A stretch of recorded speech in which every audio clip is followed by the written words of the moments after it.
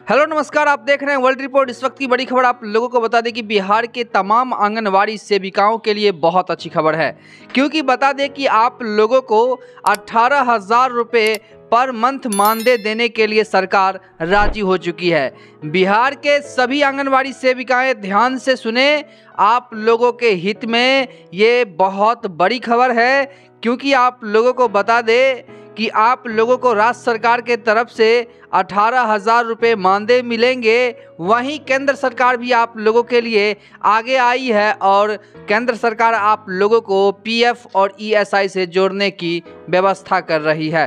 तो आप लोग जो है खबर में बने रहे, हम प्रूफ के साथ आप लोगों को दिखाएँगे, पत्र जो रिलीज़ किया गया, उसके हिसाब से दिखाएँगे। हमारे पास पत्र आ चुका है, पत्र के हिसाब से ही आप लोगों को बताएँगे कि आप लोगों के खाते में अब मोटी रकम जमा होने की बारी आ चुकी है।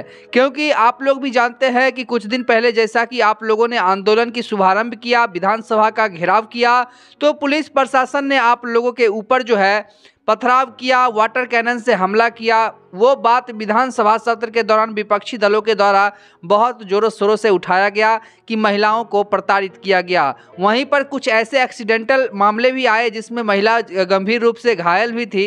तो इन सब बातों को देखते हुए केंद्र सरकार भी आगे आई है और बिहार सरकार तो आगे आ ही चुकी है इसीलिए क्योंकि वो जानते हैं कि अगर कुछ नहीं करेंगे तो जिस तरह के हानिकारक देखे गए हैं, सत्ता भी हाथ से जा सकती है। तो नेता तो होते ही हैं, सत्य के भूखे। तो आप लोगों के लगातार कुछ महीनों से चल रहे आंदोलन को देखते हुए आप लोगों के हितों में बहुत बड़ा ऐलान कर दिया गया है।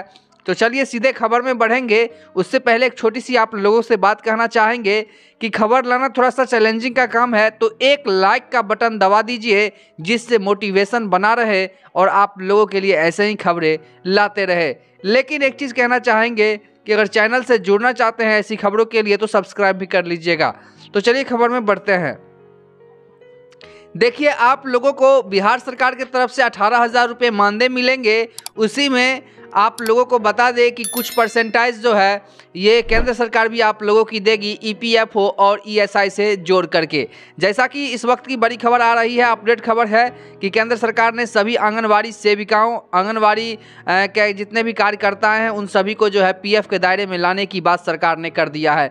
आप लोगों को एक राज्यकर्मी के तरह आप लोगों के साथ बिहेव किया जाए, आप लोगों को सरकार का दलाल नहीं कहा जाए, इसके लिए सरकार ने इन सब बातों को जो है जारी किया है। तो मतलब कि बिहार सरकार के तरफ़ से अठारह हज़ार रुपये प्लस में केंद्र सरकार के तरफ़ से प्रोत्साहन राशि और ईपीएफ और ईएसआई जोड़ करके आप लोगों के सैलरी लगभग इक्कीस से बाईस हज़ार रुपये पर मंथ होने की पूरी गारंटी है, आप लोगों को ये मालूम पड़ जाएगा जब दो दिनों के बाद जो छठ पूजा खत्म होगी, विधानसभा सत्र होगी, उसके बाद जो कैबिनेट की फैसला आएगी, उसमें आप लोगों के लिए बहुत बड़ा, कह सकते हैं कि छठ पूजा का गिफ्ट आप लोगों को बिहार सरकार दे रही है। ये बात अभी पब्लिकली इसीलिए नहीं अनाउंस किया गया है, क्योंकि ये बात अभी तक विधानसभा सत्र तक ही है। जब कैबिनेट की मुहर लगेगी तो सचिव खुद आकर के आप लोगों के हित में इन सब बातों को रखेंगे। जिससे आप लोगों का सारा कन्फ्यूज़न जो है दूर हो पाएगा।